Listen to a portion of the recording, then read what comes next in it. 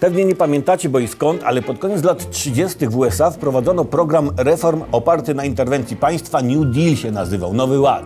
My w Polsce mamy okazję wprowadzić program Nowy Dealer, też oparty na interwencji państwa. Otóż słuchajcie, policyjne testery do wykrywania narkotyków mylnie pokazują, że przemysłowe konopie włókniste to konopie indyjskie, czyli marycha.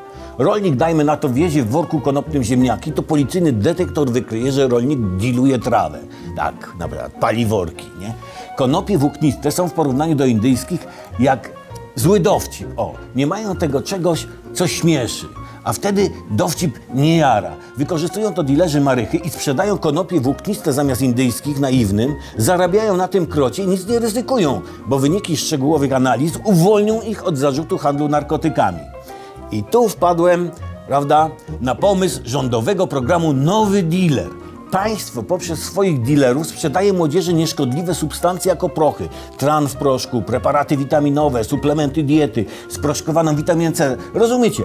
Państwo dealuje rzeczy zdrowe. Skarb państwa zarobi, a młodzież będzie zdrowa. I powie, aha, ha, byłem na takim haju, że a, normalnie widziałem i słyszałem. I taki miałem odlot, że aż lekcję odrobiłem. No super było, a nic nie czułem. No dobre, dobry, do, dobry staw.